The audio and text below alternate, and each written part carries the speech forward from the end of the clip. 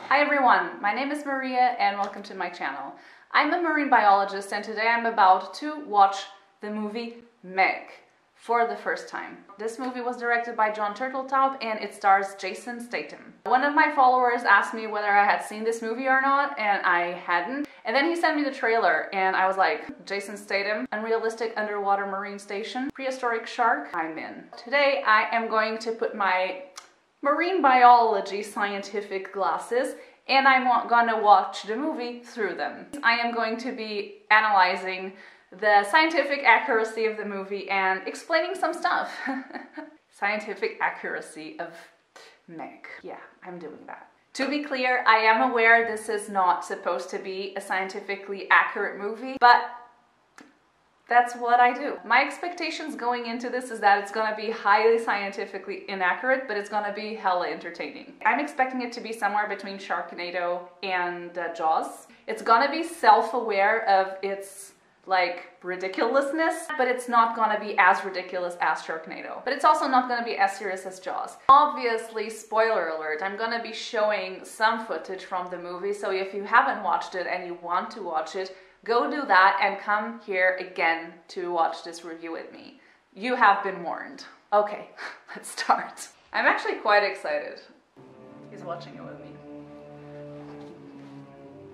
Okay, okay, okay, okay. There are no underwater marine stations like that, unfortunately, and I thought they did exist until until that was pretty old actually. I thought there were a lot of underwater marine stations. Having a building like this made out of glass is probably not a very good idea. First of all, if it's very deep, how much, how thick would that glass need to be? And if it's very thick, you wouldn't even be able to see anything that's happening outside, which defies the purpose of it being glass anyway. So glass underwater, under pressure, big building with people, bad idea. I think there's like one underwater marine station where people can actually be inside and work for more than a couple of hours. There's one in uh, Florida Keys. It's nothing compared to something of this size. And that's the only underwater marine station active that I underwater that I know of. My dream as a child was to work in a, a, a station like this. We've all the Mariana Trench was the deepest Science. place on Earth. I have a theory that what we think is the bottom might actually be a layer of hydrogen sulfide. Beneath that cloud and the freezing cold thermal climate, there could be a completely new world. The origin is about to see if my father's right.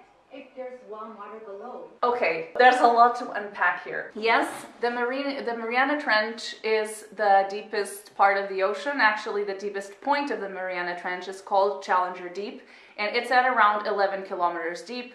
There is some discussion on the exact depth, but there have been cameras sent down there. Now, hydrogen sulfide and layers of hydrogen sulfide are things that can actually exist Hydrogen sulfide is a compound uh, produced usually by bacteria in the absence of oxygen. Volcanic activity and geological activity can also produce hydrogen sulfide. We humans also produce it in tiny, tiny amounts because it is actually toxic. In the Black Sea, apparently, there is a layer of hydrogen sulfide that is sometimes created near the sediments. This is something that can actually exist in the water uh, and in the sea. As they say, it's a layer of hydrogen sulfide that separates the cold water from the warm water below and they call it thermocline. That's wrong. A thermocline is a layer of water that separates other two but it's usually characterized by having a different temperature. So it's a layer that has a different temperature from the one above and the one below. And if you say thermocline means you are characterizing this due to its temperature.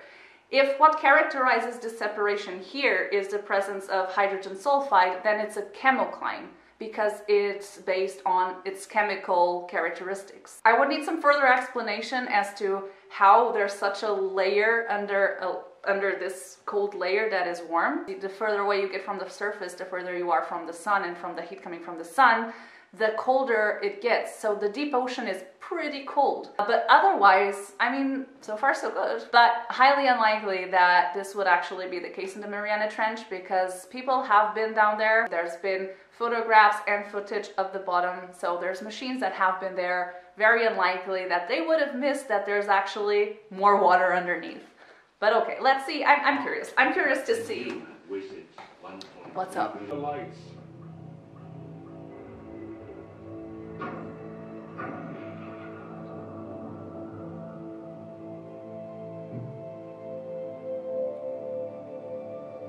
Think the deepest fish was found at like eight kilometers deep or something. I saw this fish here, this yeah, white fish that appeared on screen now, snailfish. He was the deepest one found. Also, angler fishes do not go so deep or have never been caught so deep. Surprising it's there.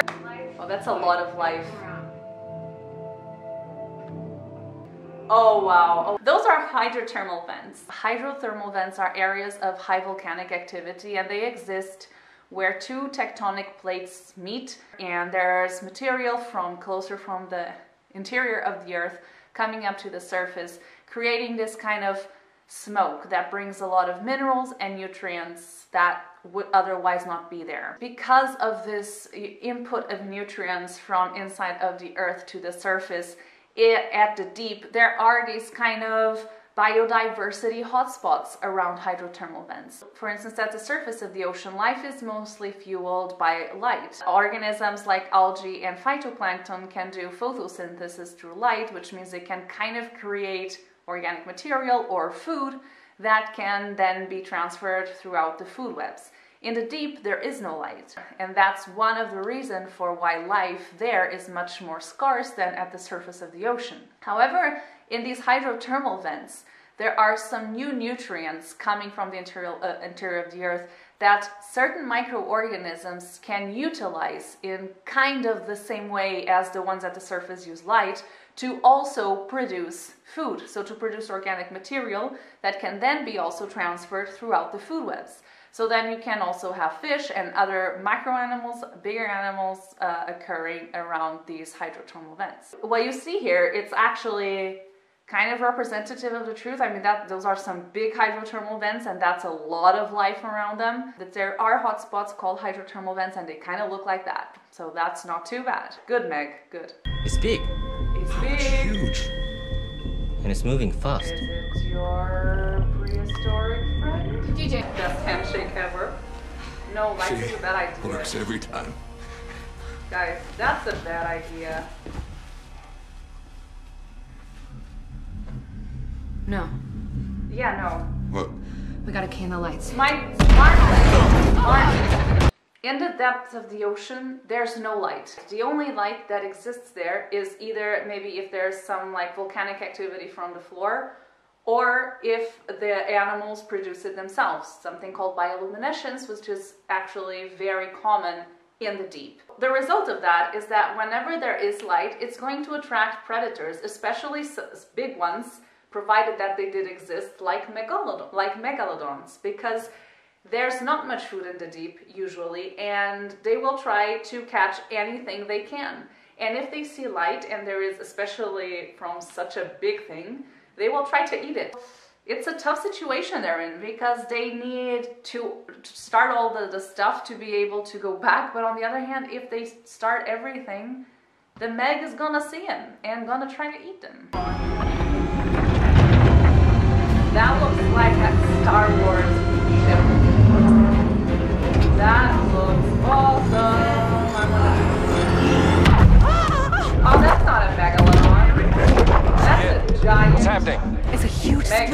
Mega squid. giant. Got the glider. There are giant squids. The longest squid is uh, the colossal squid. It's like 20, 25 meters. It's a megalodon. Impossible. How does he know that? It's a megalodon. He didn't even see it. Oh, Jason. 20 to 25 me- meters megalodon is pretty big. I did some researching before this because if there's one thing I knew about this movie, it's that there was to be a megalodon in it. The estimate maximum length of a megalodon was around 18 meters, so 20 to 25 is extremely large.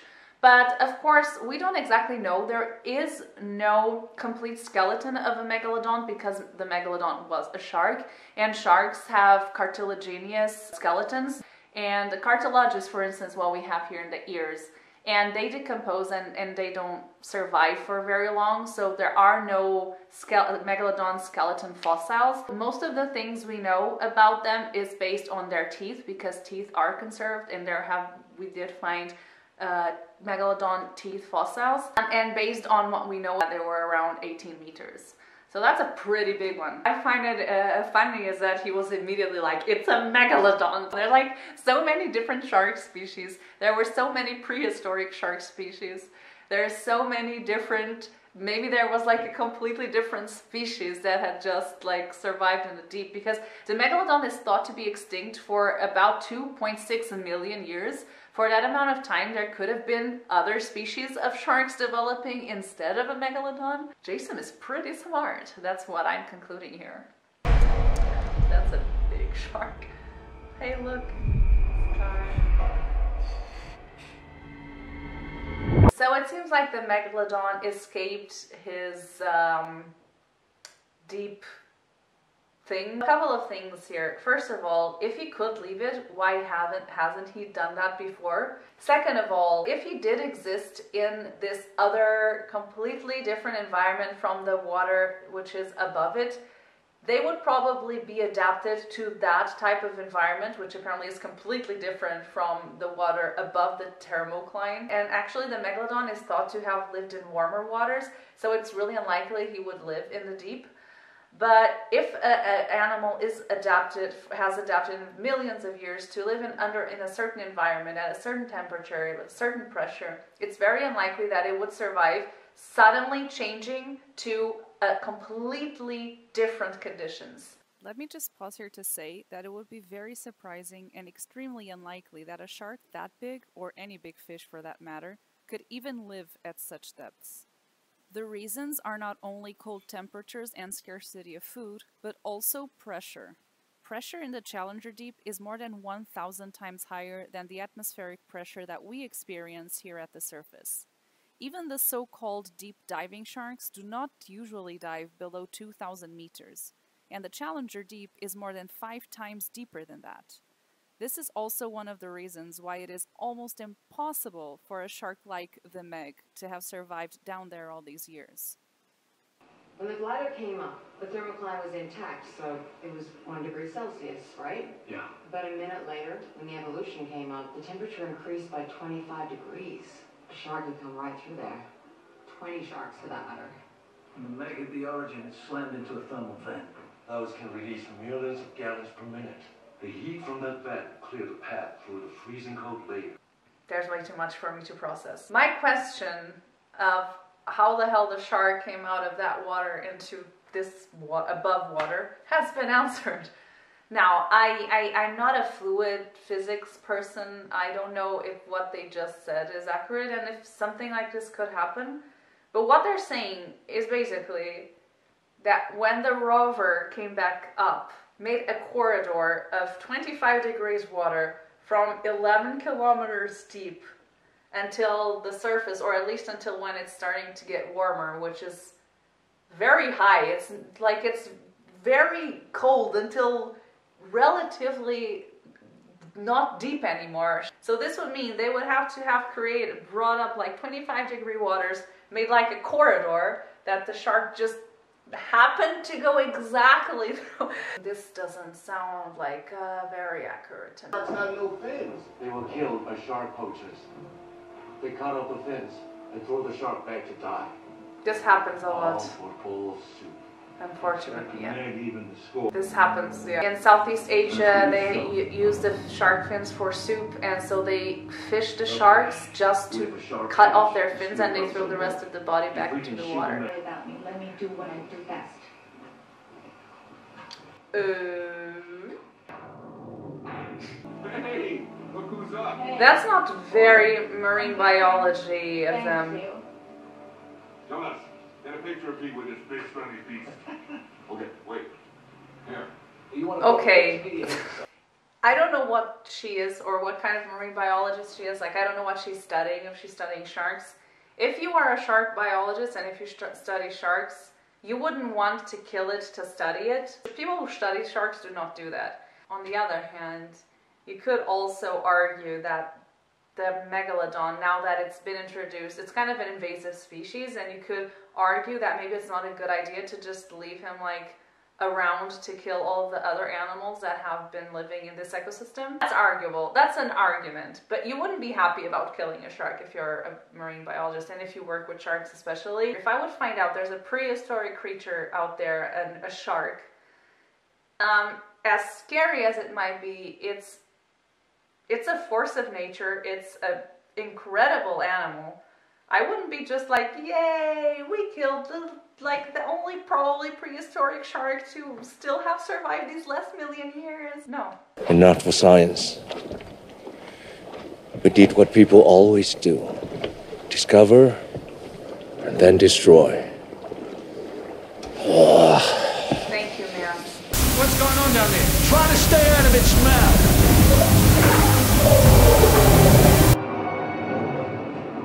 People have a very cool head. They're always so chill, still capable, like in the most stressful of situations, like giving the best, saying the best one-liners ever.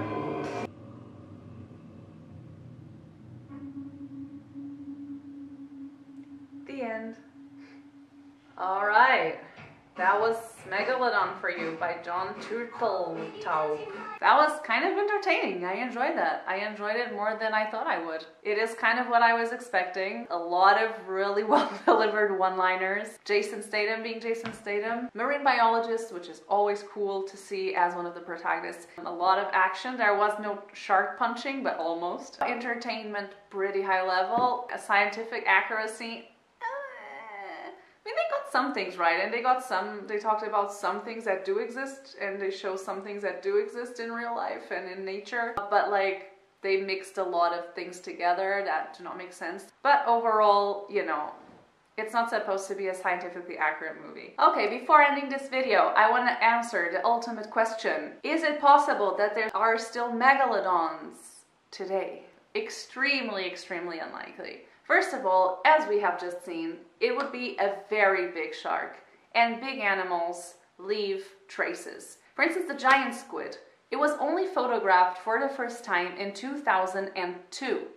This was only 18 years ago. However, we knew it existed because a lot of body parts and sometimes almost entire bodies had come uh, to the surface and a lot of remains washed ashore. We would also see bite marks in other animals. We would have seen carcasses of other animals maybe with bites with the size of the mouth this animal would have. We would find signs of struggle with other with their prey and things like that which we have never found. Besides that, we have not found any modern day megalodon teeth. Shark lose a lot of teeth during their lifetime. Sharks lose and regrow their gnashers teeth every two weeks. If megalodons did exist after those 2.6 million years, that we would have found some teeth since then until today, which we haven't. So it's very unlikely that they still exist. I hope you enjoyed this. I hope you had some fun with me. I hope you maybe learned a little bit. And that's it if you want to watch more marine related content. Uh, don't forget to subscribe if you like the video. Don't forget to press the like button. And if you, yeah, that's it. Share this video if you want to share it with someone who maybe will enjoy it. And that's it. Thank you very much for watching, and I hope to see you in the next one. Bye.